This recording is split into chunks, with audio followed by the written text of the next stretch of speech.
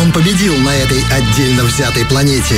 Он был вчера, он есть сегодня и обязательно будет завтра. В программе «Автостоп-шоу» на Пилот Радио. Километры полезной информации.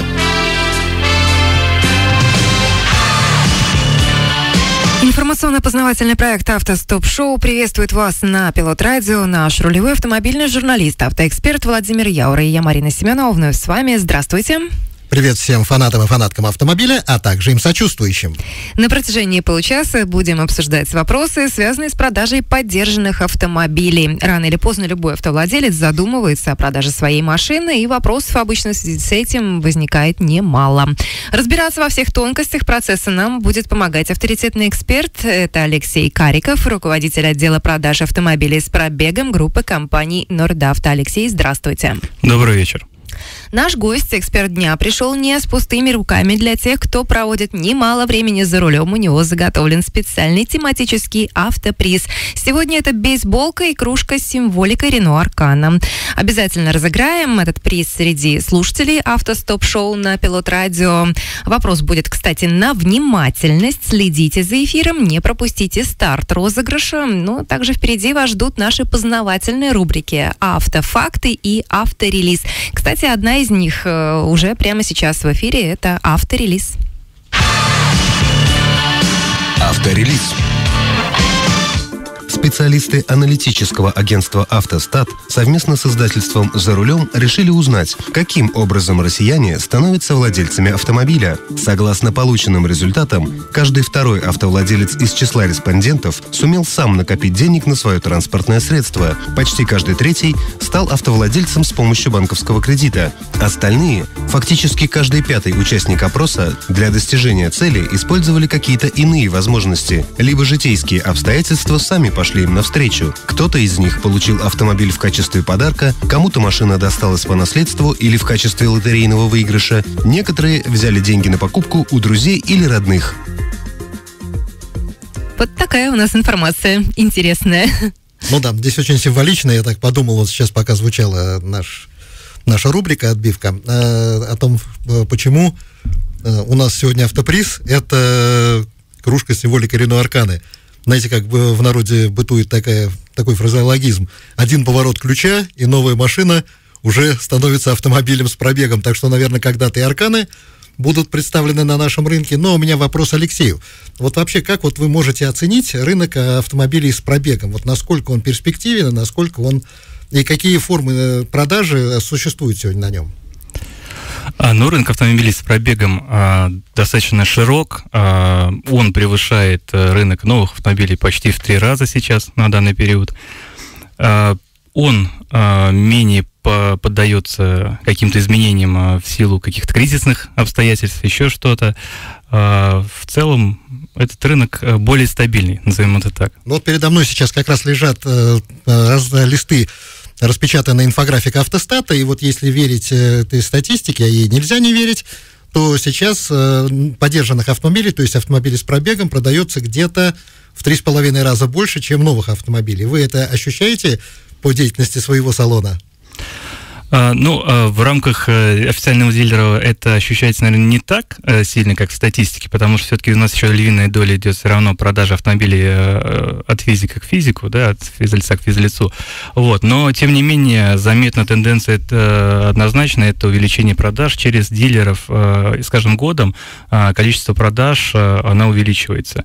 Соответственно, рынок приходит в цивилизованный вид, то есть когда все прозрачно, когда все э, в одном месте, когда действует правило одного окна, да, то есть где можно прийти, э, купить автомобиль, э, договориться о сервисном обслуживании его дальнейшем, э, возможно, приобретение не только за наличные в кредит, э, то есть вот э, это все позволяет нам, э, скажем так, быть культурными и прозрачными в рынках автомобилей с пробегом. И называется это все каким термином, если все в одном? Все включено все включено, э, наверное, все-таки это трейдинг, да, я так думаю. Это не совсем, конечно, мы сейчас... Правило одного окна. Да, да, да, да, да. Я думаю, как раз нам сейчас расскажет очередная наша рубрика. Да, очередная наша рубрика, я именно к этому. Пожалуйста, автофакты в эфире. Автофакты. Программа Trade-in пришла в Россию из-за рубежа. Несмотря на то, что Trade-in уже на протяжении нескольких лет активно используется российскими автосалонами, термин не был переведен на русский язык и не нашел себе русскоязычного аналога. При этом в английском языке данное словосочетание имеет конкретное значение – замена старого товара на новый с доплатой. За рубежом термин может относиться к любой торговой сфере, от бытовой техники до мебели, но в России прочно связан лишь с продажей авто. Ну, смотрите, это самое, Алексей, вот сейчас только что мы узнали наконец-таки, что же такое трейдин. Для меня, честно, было откровением. Я тоже считал, что во всем мире это Только автомобили. к автомобилям. да. да. Оказывается, это относится и к мебели, и чуть ли не к домашним да, животным. везде сейчас встречается. Да, да, да, да, да. Так вот, возвращаемся к нашим, э, к нашей теме, к на автомобилям э, с пробегом, которые продаются у нас в России. Вот доля трейдина, вот именно машин в, в вашей деятельности, она велика? А, то есть обмен... Когда человек меняет, да, привозит старую машину, желая приобрести новую. Да, вы знаете, а, в нашем дилерском центре непосредственно эта доля достаточно немаленькая. В принципе, мы в тренде а, идем вообще общероссийских норм.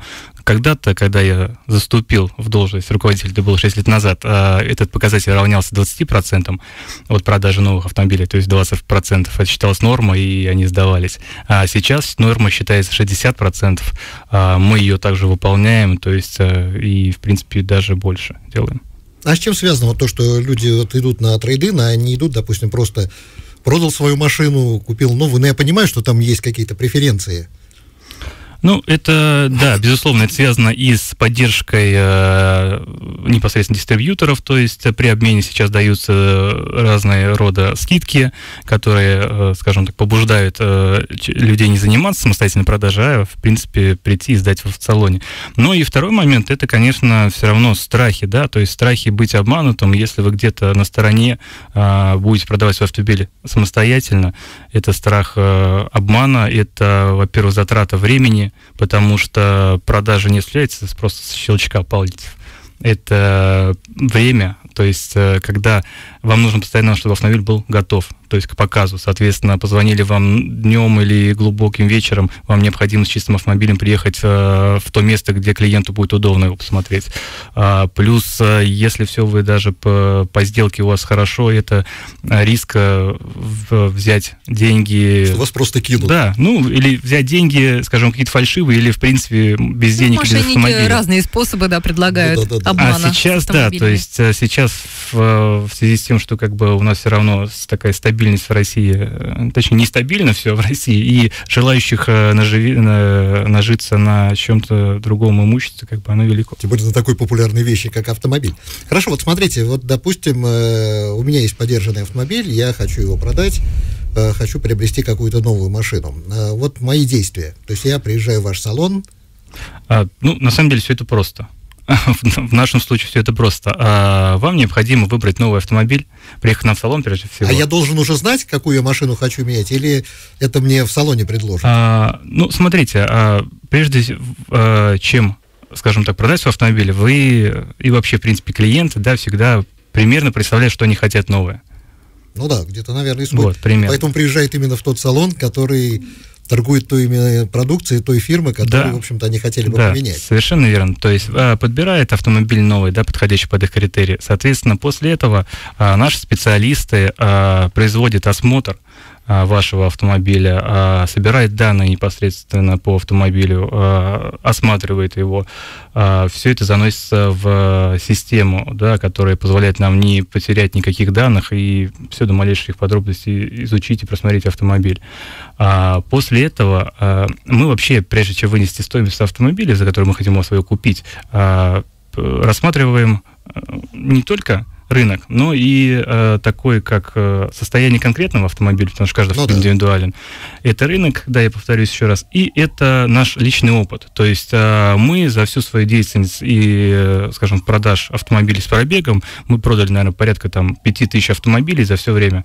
Э, у нас достаточно огромный багаж багаж знаний, багаж умений и багаж, в принципе, То есть, реальных примерно, сделок. знаете, будет машина стоять или она Да, быстро уйдет? Да, все верно. То есть реальных сделок. Поэтому мы можем а, максимально точно оценить, максимально выгодно, а, скажем так, для клиента называть ему стоимость, потому что мы знаем, что этот автомобиль быстро реализуется или, допустим, реализуется какими-то нюансами. То Но есть это вот будет- это все. Но это ну, а всё равно часто бывает, например, что клиент все-таки не согласен с вашей оценкой, встает и уходит, а диагностика уже сделана. Диагностика, она, кстати, в этом случае оплачивается клиентом? А, в- Наши клиенты диагностику техническую не оплачивают а, ни в каком случае. То есть э, мы эти э, расходы взяли на себя. В принципе, для чего? Потому что а, мы заботимся о наших клиентах непосредственно, да, и э, зачастую вопрос раньше вставал по поводу оплаты, потому что люди, ну, немножко опасались, что мы там деньги возьмем и наговорим кучу-кучу всего, и мы от этого ушли, Да-да-да, в чтобы принципе. снизить стоимость. Да, совершенно верно. Мы ушли, чтобы люди не видели никакой подоплеки, и как бы, что у нас все прозрачно, опять же, еще раз повторюсь, да, что у нас все честно. А, ну, такое бывает, но, наверное, я не буду кон- конкретно какие-то варианты говорить, а просто скажу, что это 1% из 100. То есть люди все-таки а, осознанно к вам приходят, уже конкретно имеют цель совершенно верно. продать и оставить у вас автомобиль. Да, мы стараемся все возражения снять еще на этапе первичной оценки. То есть, а, потому что вот самая работа такая основная проходит с людьми путем переговоров именно при первичной оценке. А, Мы людям поясняем не только там, да, словами, а у нас есть специальный лист аргументации стоимости автомобиля, где мы конкретно показываем, из чего складывается стоимость автомобиля. Ну, потому что зачастую люди на слух не все воспринимают, а наглядности все это им доказывает. И, в принципе, мы возражения все снимаем а, вот на, на ранних стадиях, поэтому, наверное, диагностика тоже такая формальность, э, просто выявить, э, ну, точнее, не, не э, выявить какие-то скрытые повреждения, чтобы потом в последующем клиент новый, кто приобретает данный автомобиль, был уверен в его качестве. Ну вот, кстати, сказать хорошо. Вот смотрите, ну, пришел автомобиль, вы его осмотрели, вы согласились, э, вернее, пришли к какому-то согласию и пониманию по цене. Э, Вы его выставляете на площадку, вы какие-то действия с ним совершаете, то есть вы его как бы, ну, грубо говоря, причесываете Э, ну, перед продажей. Да, безусловно. То есть, а, так как автомобиль с пробегом, да, и он не исключено, что может требовать каких-то вложений дополнительных, как лакрашного покрытия, так и технической части. Как раз вот это вот все выявляется на стадии диагностики, а, это все калькулируется, а, на это делается акцент, да, с клиентом, А, и после это, конечно, все ремонтируется. Но это способствует понижению цены, я так понимаю, да? То есть вы эти затраты вешаете как бы все равно на клиента, который вам машину А, предоставляет. смотрите, мы предлагаем два варианта. То есть непосредственно клиент может устранить самостоятельно, если он уверен, что где-то это он сделает выгоднее, чем у нас, потому, ну, хотя у нас это выгодно, мы делаем по внутренним ценам, то есть и минимально за, за- закладываем туда стоимость. А, ну, либо оставить так, и да, согласиться с нашей калькуляцией, а, потому что, опять же, а почему это делается, учитывается? А, если это не сделать, а, клиент следующий, новый, кто будет покупать автомобиль, он будет просить скидку. А, соответственно, если мы будем закладывать скидку, а мы априори будем тогда понижать стоимость автомобиля. А чтобы этого не делать, чтобы машину продать дорого, а ее можно продать дорого только в том случае, если она будет безупречна. Вот, поэтому, то есть мы эти нюансы все видим, мы их устраняем, безусловно, у нас есть свой э, кузовной цех, малярно-кузовной, который производит качественные работы э, по всем стандартам. У нас есть профильные э, и мультибрендовые сервисы. То же самое, вот коллега мой недавно был, э, Еврепар. Вот, а, то есть у нас все для этого есть, чтобы автомобиль привести в порядок и потом, чтобы люди, кто его приобретает, м, эксплуатировали. Да, более того, мы, когда машины продаем, мы э, даем сервисные карты, сервисные карты на наше обслуживание непосредственно. То есть человек может потом приезжать и к нам обслуживаться. А вы вчера вот э, уже, скажем так, с позиции уже мы рассматривали продавца, теперь с позиции покупателя. Когда, когда машину вы передаете ему, вы те диагностические карты ему выдаете на руки? Да, а, более того, у нас это все прописано в договоре, что человек ознакомлен с техническим состоянием автомобиля. А, Мы говорим, что в каком состоянии автомобиль был до момента приема, допустим, а, какие ремонтные работы, если вдруг мы проводили, проводили. То есть все полностью, мы ничего не скрываем. То есть если какие-то числятся ДТП за автомобилем, мы говорим, что и как, и в принципе, насколько это критично было или не было. А Если автомобиль безупречен, и у него сервисное обслуживание дилерское, то мы также все говорим. Алексей, мне хочется еще несколько фактов э, из э, российской статистики, которые собирал Автостат. Э, Вот, например, самой популярной иномаркой на втором вторичном рынке в России, остается вот Ford Focus. Э, продажи одни из самых высоких среди иномарок. А вот э, если говорить о Тверском рынке, что у нас? Ну, смотрите, Тверской рынок, он... Э, Это иномарки, я оговорюсь. Да, да? он конечно, отличается от общей российской, потому что вообще каждый регион отличается от, Тут скажем, от, от в целом, да. Но я, наверное, не буду говорить за в целом за Тверской рынок, я скажу конкретно за, за наш за нашу площадку, потому что мы сейчас э, площадку развили до 150 автомобилей, даже больше, путем, э, вот, опять же, качественных работ. И, вот со 150 автомобилей, во-первых, половина автомобилей у нас приобретается от профильных наших, таких как Renault, Citroën, УАЗ, половина автомобилей приобретается, это сегмент Б-класса, наверное, ну, достаточно доступные автомобили, там ценой до 500 тысяч рублей. Вот это как бы это факт, это вот реальные сделки. То есть фокус это в пределах России. Это общероссийская да, да, да, статистика. Да, да. У нас, у нас своя. Ну, нет, он тоже может попадать, но... А из российских автомобилей что? Из российских это из сегмента Лада, Классика. то есть... Классика. Тут мы идем меньше. много здесь, со всей России. Да, да, да, здесь э, направление Самара как раз 14-15 модели. Вот как раз Самара в российском тоже как раз и лидирует. Да, да, да. Но интересный момент такой, вот я опять-таки ссылаюсь на ту же статистику, что у нас э, доля отечественных э, марок, она падает на рынке даже на вторичном, а растет как раз именно доля иномарочной продукции. Ну, наверное, здесь как раз именно показательный вот работа как раз и вашего дилерского центра, да, наверное, то же самые цифры можете привести.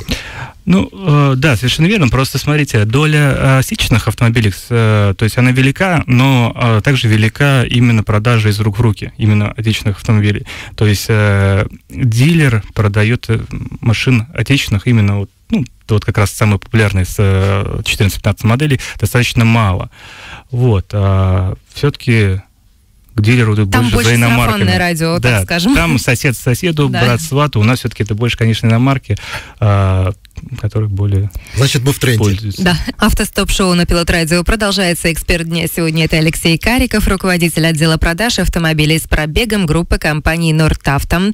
А, Алексей, вот опять-таки хочу к российской статистике обратиться. Средний возраст продаваемых машин по России это 11,4 года. То есть, грубо говоря, примерно 11 с половиной лет. А, вот в Твери какова статистика? В Сколько возраст да, продаваемых в Твери автомобилей? Ну, а, я опять, наверное, не буду за всю Тверь говорить, скажу конкретно за наш центр. А также, смотрите, если касаемо э, профильных марок э, наших, то это где-то владение, последний раз мы снимали статистику, порядка там 5, 5 ну, 5,5 лет, где-то примерно так. То есть раньше, если это было 3 года, там 3-3,5, то сейчас это на, до 5,5 лет увеличилось. ездит еще после гарантии есть да, жизнь. Да, да, да, то есть начали больше эксплуатировать. Если касаемо мультибренда, то это где-то в районе 8 лет. То есть, смотрите, вы выбиваетесь даже, так скажем, из статистики, потому что у меня вот есть тоже показатели, проводилось исследование, и Тверская область здесь находится на 49-м месте, средний возраст продаваемых автомобилей 11,6 лет, то есть мы как бы... То есть мы как раз в самом да, середине да, списка. В середине списка, да, и как бы... Под среднюю статистику подпадаем. Да, да, но это как раз, я думаю, говорит в пользу нашей площадки, которую мы сегодня представляем, да, потому что тут машины посвежее. Ну да, да, свежее, качественнее, лучше. Хорошо. Вот мы ну, самые говорили, э, скажем так, до нашей паузы на рекламу э, с точки зрения продавца, обсуждали наш вторичный рынок. А теперь поговорим с точки зрения покупателя. Вот когда покупатель приобретает автомобиль на этом рынке, он может рассчитывать на какие-то гарантии того, что он приобрел? А, да, конечно, безусловно. Во-первых, э, это гарантия э, юридического лица, да, то есть, э, который мы несем. чистоты. Да, юридической чистоты, юридической вообще после такого, скажем так, сопровождения после продажи, да, то есть а, мы несем ответственность за того, тот товар, который мы продали. А, это все есть, безусловно. А если я пришла, например, поменять свою машину, э, уже поддержанную, да, естественно, на э, вашу поддержанную, вот мне, может быть, какие-то преференции, да, мне, угу. может быть, какие-то преференции положены? Ну да, смотрите, а, это называется, скажем так, вторичный трейдинг, в простонародье, да, Куда когда, когда термина, обменивают, да, то есть с пробегом на другой автомобиль. Да, совершенно верно. То есть а, мы для своих клиентов, а, ну, для тех клиентов, кто решает у нас приобрести автомобиль с пробегом и при этом сдать свой, а, мы предусматриваем дополнительный дисконт в этом случае на, на приобретаемый автомобиль, это 20 тысяч рублей. А, тем самым, то есть он может, опять же, распорядиться этими деньгами по собственному желанию, да, он может оформить, а, еще раз повторюсь, ту же самую страховку у нас, какие-то приобрести дополнительные аксессуары, то есть это все Вариантов возможно. много, да. Да, да, совершенно верно. Но вот в вашей практике вот э, много таких сделок происходит, когда вот люди именно поднимают, поднимают класс своего автомобиля. Ну, БУ, ну, БУ, но выше классом, да. А, Смотрите, но а, это где-то примерно в- на уровне 15% от общего количества продаж. А какие машины доминируют в этом случае? А вы знаете, прем- назвать? Да, Лидеров. наверное, преимущество это приобретают у нас э, профиль наш автомобиль Renault Duster, как раз приезжая на поддержанных иномарках, это условно там 10 лет даже, там доходя, ну, качественных автомобилей, да, и как раз вот хотят э, на пересесть на что-то полноприводное. Вот здесь вот наш профильный бренд как-никак лучше подходит. Ну, рынок SUV, да, в этом самом он тоже, если верить той же статистике, на которую мы сегодня неоднократно ссылаемся, он самый быстрорастущий. Хорошо. А, креди- а кредиты вы можете, например, предоставить, если Да. не хватает денег, трейды. да, на вторичные да, трейды? Да, безусловно. То есть у нас э, действуют льготные кредитные ставки, это минимально от 9,9%. А, опять же, достаточно расширенный э, у нас действует э, диапазон по возрасту там, до 75 там, 78 лет на окончании кредита. То есть, ну, в принципе, каждый желающий теперь, невзирая на возраст и состояние, скажем, да, может приобрести интересующий товар, интересующий автомобиль. Алексей, вот вы можете сейчас нашим радиослушателям сказать, где находится такая уникальная площадка, где предоставляют и кредиты на вторичном рынке? Да, конечно, самая большая площадка, более 150 автомобилей в наличии вы можете найти по адресу город Тверь, Московское шоссе, дом 11, дилерский центр Нордавто, Рено, Citroën, то есть там у нас все общее, достаточно большая. Но я знаю, что у вас еще есть площадка и в Ржеве. Да, совершенно верно. К кому Это, лень- я думаю, кому и лень ехать сюда, да, или кто-то находится по соседству с Ржевом, конечно, даже там у нас представлен филиал, а, где также автомобили проходят а, все диагностические моменты и такого же качества. То есть там уровень будет такой же э, Абсолютно, высокий, как и абсолютно. У нас стандарты качества по всем дилерским центрам одинаковые, то есть... Группа компаний, понятно. Да. да.